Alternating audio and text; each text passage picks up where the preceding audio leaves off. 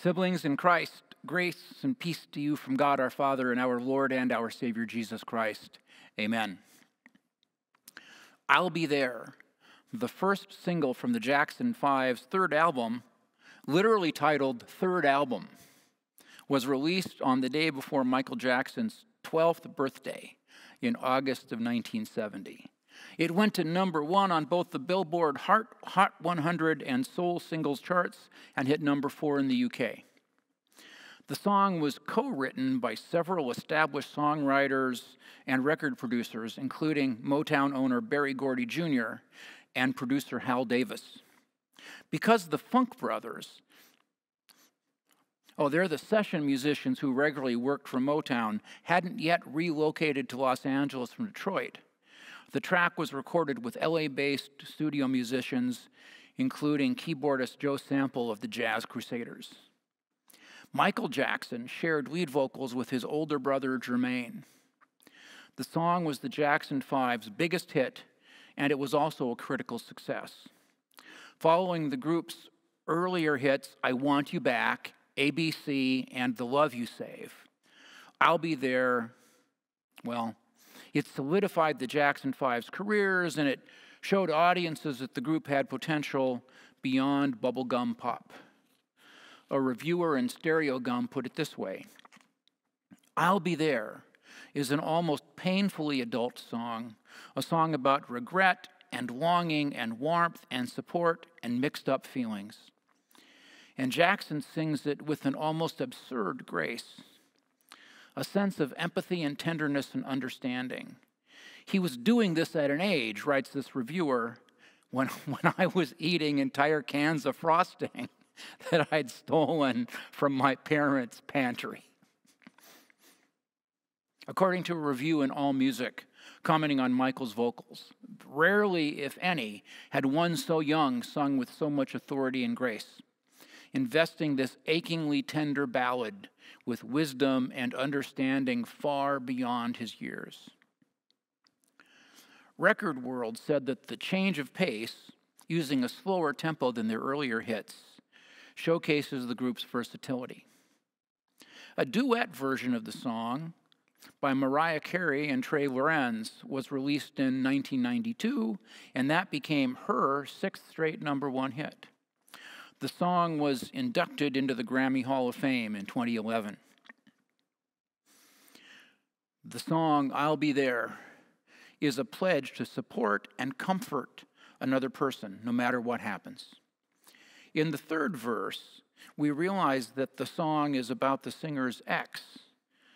And the singer is promising that he'll drop everything and come running whenever his former love gets lonely that line transforms it from a song of friendship into a song of heartbreak.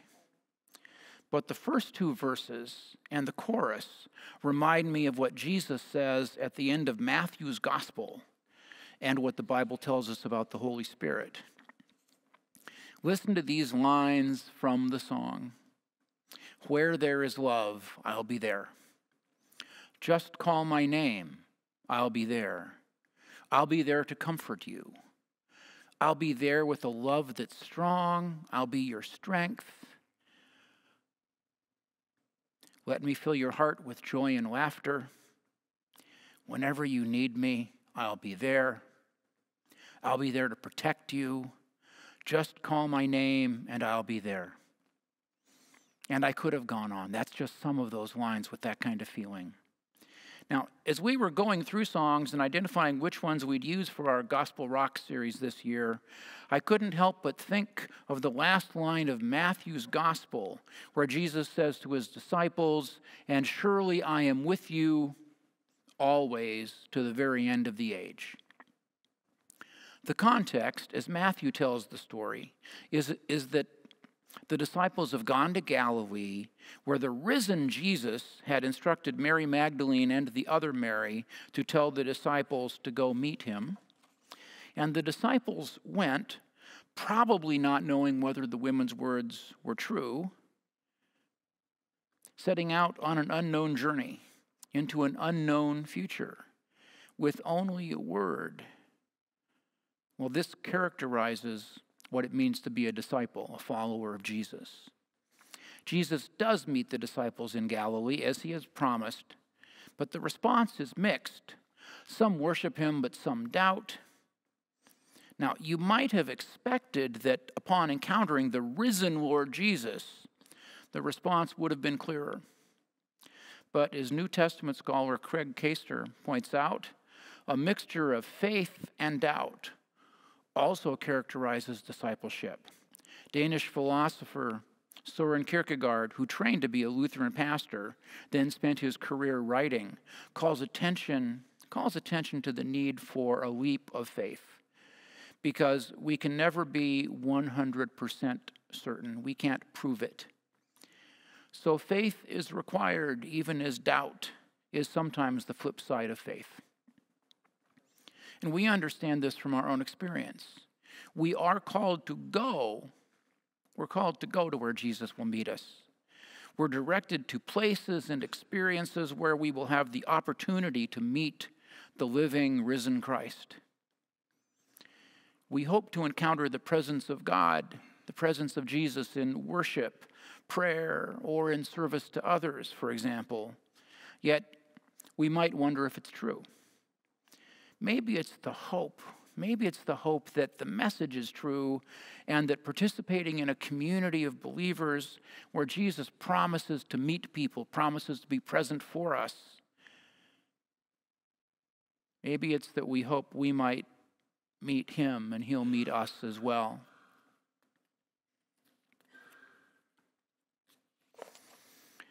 Then Jesus sends this group of disciples who don't have it all together out to make other disciples. Now, this might not seem like a great plan, but God uses imperfect people. Why does God use imperfect people? Because that's the only kind of people there are, right?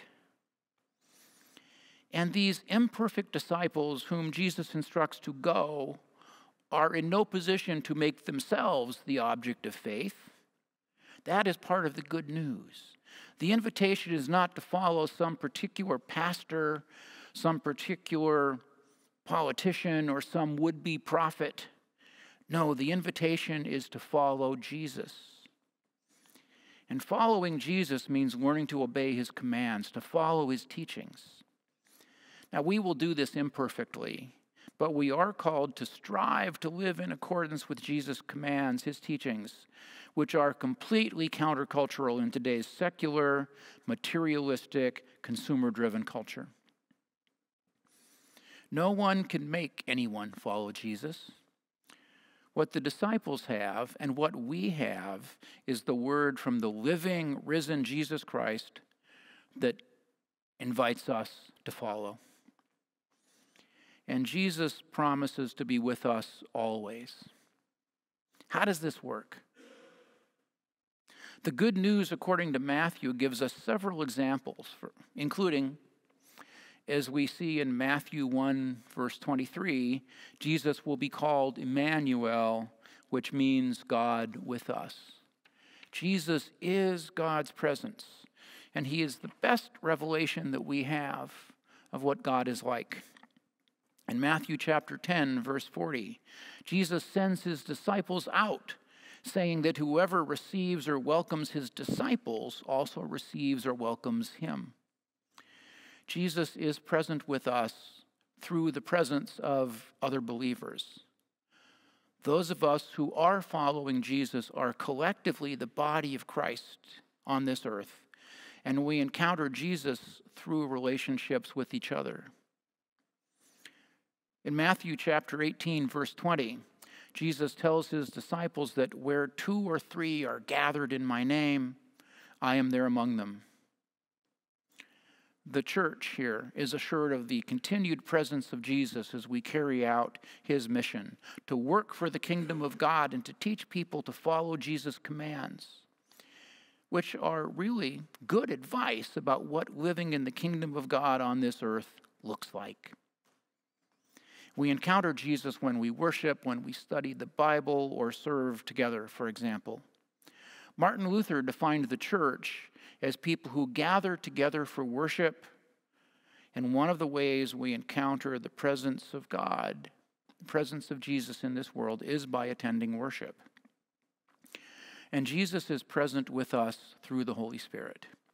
In John chapter 20, beginning at verse 21, as Jesus is meeting his disciples on the evening of the first Easter Sunday, Jesus said, and here I'm using N.T. Wright's suggested translation Jesus said, Peace be with you. As the Father has sent me, I am sending you.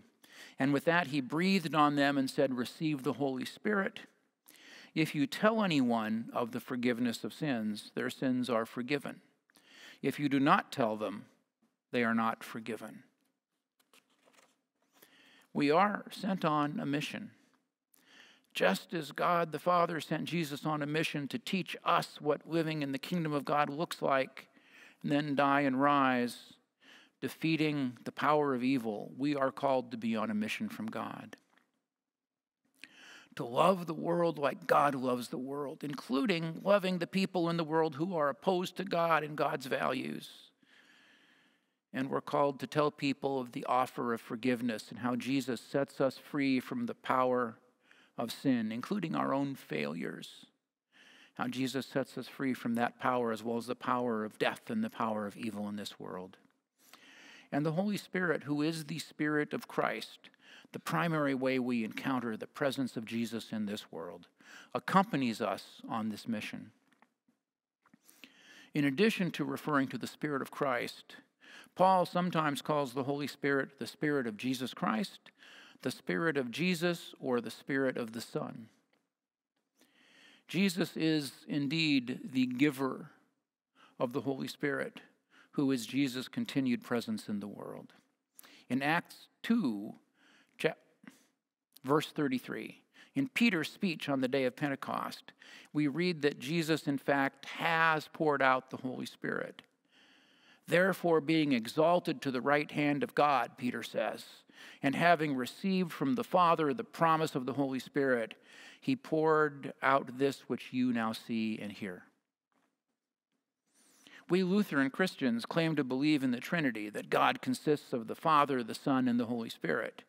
One God in three persons or faces, perhaps. The easiest way to understand the Trinity is to simply say that there are three different ways in which God relates to the world. And this isn't the whole story, but it's a good start at understanding the Trinity. We might say, for example, that God the Father is the creator and the provider, that God the Son, Jesus, is the one who redeems us, and the Holy Spirit is the one who sanctifies us or makes us holy. In practice, however, like many Western Christians, we tend to put much more emphasis on the Father and the Son than on the Holy Spirit. Um, the typical college or seminary level theology textbook is about this thick, and the first almost half of it is about God the Father. The second almost half of it is about God the Son, and there are a few pages at the end as if apparently when, when they were almost done, they said, Oh, we can't write a book this big just a few pages at the end about the Holy Spirit. So it's worth spending at least a bit of a little bit of time today talking about who the Holy Spirit is and what the Holy Spirit does for us. When we say the creed, we say, I believe in the Holy Spirit, the Holy Catholic, that's Catholic with a small c church, the communion of saints, the forgiveness of sins, the resurrection of the body, and the life everlasting. What do we mean by that? Well, for starters, the Holy Spirit makes us holy. Other kinds of spirits are referenced in the Bible, such as the human spirit, heavenly spirits, and even evil spirits. But only God's Spirit is called the Holy Spirit. How does this process of making us holy, sometimes referred to as being sanctified, take place? You might think the Creed doesn't actually tell us much about the Spirit, and then goes on to mention these other things. But the other things, the communion of saints, the church, the forgiveness of sins, the resurrection and everlasting life are a list, admittedly a partial list or description, of ways in which the Spirit works to make us holy. We are led into a holy community, into the church, where we hear the word of God and are brought to faith in Christ. This is the work of the Holy Spirit. As we read in 1 Corinthians chapter 12, no one can say Jesus is Lord except by the power of the Holy Spirit. When we worship, when we gather together, we hear the word of God read and proclaimed. We pray, we sing songs of praise and worship, we sing hymns, we receive the presence of Jesus through receiving the Lord's Supper, also known as communion. And when we do all those things, the Holy Spirit is at work in us to bring us to faith or to strengthen our faith. As Martin Luther pointed out in his large catechism, where Christ is not preached, there is no Holy Spirit to create, call, and gather the Christian church, apart from which no one can come to our Lord Christ. We are brought into the true church by the Holy Spirit and the Spirit is always with us as the presence of Christ. We learn of and experience forgiveness because of the work of the Spirit as we hear and have the opportunity to respond to the good news. And because we are never completely without sin, we, were all, we are always in need of this forgiveness. Through the, Holy, through the Holy Spirit, we are made holy. We are made right with God and our holiness is increased when we spend time in spiritual practices that bring us into contact with Jesus and His Spirit.